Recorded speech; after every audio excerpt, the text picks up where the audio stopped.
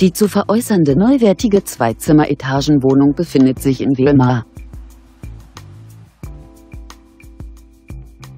Die Wohnung wurde 2003 erbaut und wird über eine Zentralheizung beheizt. Die Wohnung verfügt über einen Balkon und einen Parkplatz.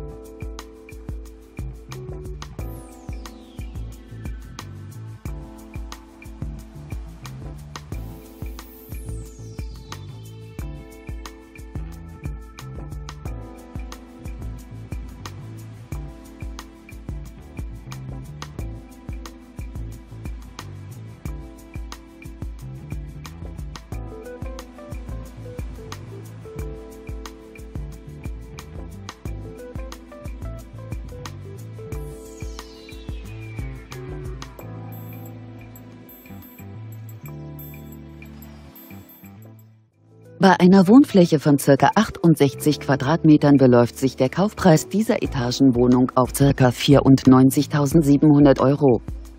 Wohntraumimmobilien steht Ihnen gerne für Fragen zur Verfügung.